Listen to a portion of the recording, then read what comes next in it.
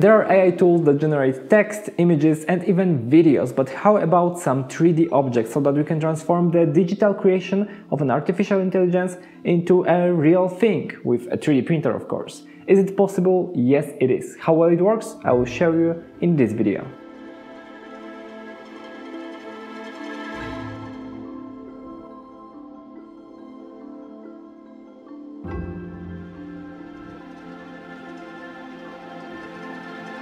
We'll take an in-depth look at Dimension tools right after this sponsor message. This video is sponsored by Opera Browser. Browsing the internet is a big part of our life and work nowadays. And if something takes a significant amount of my time, I really like to look into ways of making it as efficient as I can.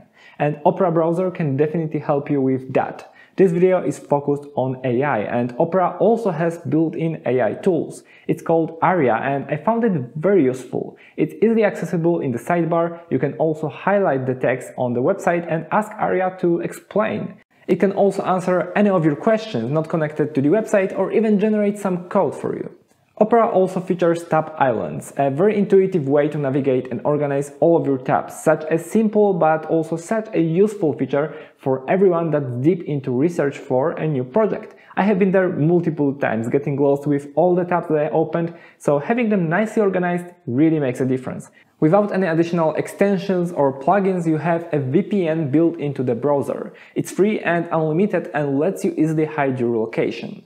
These are just a few of many features you can find in the Opera browser. Use my link in the description to try it out and I hope you will enjoy it. Thanks a lot to Opera for sponsoring this video. Point E generates a cloud of points which usually looks like that. If you zoom out a bit then you can see the shape of the object and it's pretty rough with no details but it's definitely there. Is it any useful for 3D printing? I don't think so. Sure, you can convert the cloud of points into a file that can be 3D printed, but there is just so little detail in there that you won't get good results. In their scientific paper about point E, they even mentioned that low quality is a serious limitation, but there is still a potential to generate dangerous objects that then can be 3D printed. But still, Point E is completely free and you can play with it even without logging in. Link to Point E is in the description. 3dFY or 3dFi is not free, so that's a huge downside. You get 10 free credits in the beginning, but you can't download any of the generated objects without paying. It is focused on interior design type of objects and gaming, but the categories are very, very limited.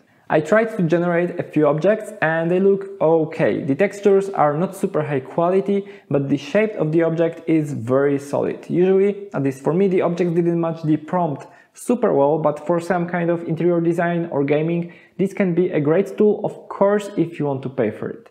And that could be in fact very very nice tool to generate 3D models. It might still be in some case of interior designers, but the next option and the next tool can give you similar results and is entirely free.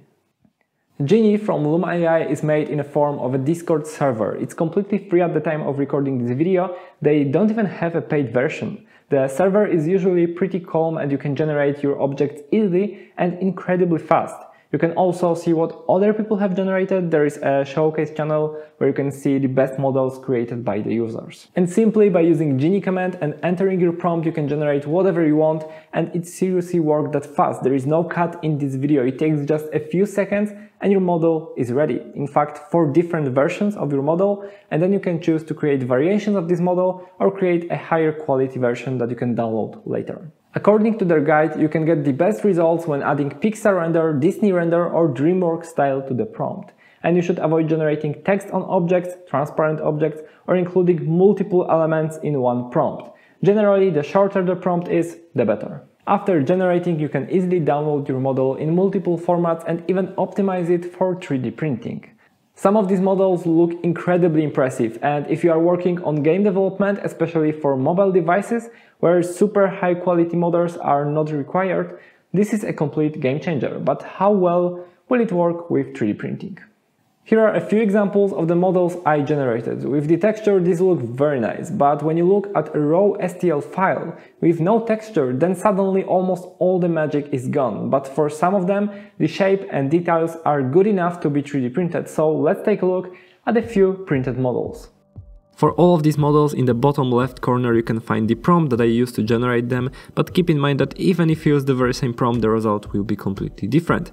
The bat is super cute, I like this model a lot, without the texture it's not that impressive but still pretty decent. The space alien Buddha cool with the texture, really perfect model and not that much when 3D printed. It was also printed at really high speed, so it is not that perfect when it comes to just the quality of the print. I really like the frog because even the arms and the fingers are super cool and this model was edited a bit with Mesh Mixer, which I will show you later.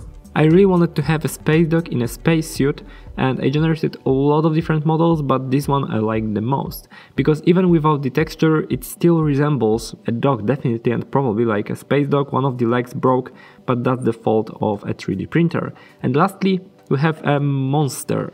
The prompt wasn't really meant to generate a monster, but it ended up really good. And of course, there are some problems with fingers and arms, but other than that, the face, the back of the monster, it's a really nice model. Before printing, it's a good idea to make the bottom of the model flat. I did that with Prusa Slicer, but you can also use Mesh Mixer, which I will show you later. Having the bottom of the model flat reduces the chance of a printing failure as it sticks to the build plate much better. The models were printed on my good old 3D printer Ender 3. It still works very well, but it is just so slow compared to some modern machines. I also used FL-Sun V400, which is the first Delta type printer I tried. The printing speed compared to Ender is quite impressive. If you would like to complain that these models are not good enough and that they lack details and give poor results with 3D printing, hold on a moment. Genie is not perfect, definitely, but that's one of the first AI solutions that can do that. It's only the beginning, so think about how good it might be in a few years. Will it impact the employment? Probably yes. But so did the Industrial Revolution. A lot of time passed since then and humans are still working in the factories. But their job is more efficient and safer, so in my personal opinion, we shouldn't ban or limit any kind of AI technologies as long as it is good for humanity and does not try to exterminate us from this planet. But I am curious to hear what you think in the comments. And of course, if you want to edit some of the models, that's also possible with another free software called Mesh Mixer. I'm really not good at this kind of sculpting and modifying the models, but I wanted to show you that it is possible and in fact quite easy to do. Maybe it will be a good starting point for some sculptures. For the frog I just tried to enhance some details and the eyes and as mentioned in Mesh Mixer you can also cut the bottom of the model to make it flat. I had an ambitious plan to paint some of the models to make them look exactly as generated by Genie.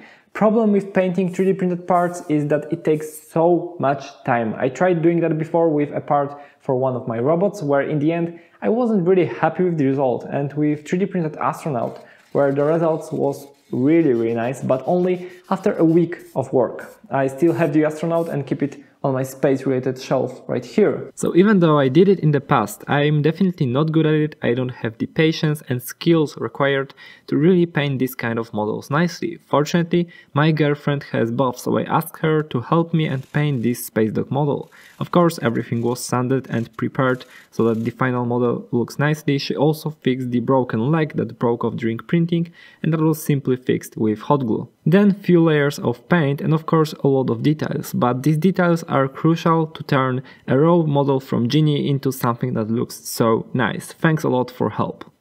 While it is incredibly time consuming, the result is also very satisfying. And as you can see in case of this Space Dog model that was generated by artificial intelligence, it might look just so, so good. And if you don't like a Space Dog, you can easily generate anything else because your perfect 3D model might be just one prompt away. Thank you very much for watching. Thanks to Opera for sponsoring Happy Making. Bye.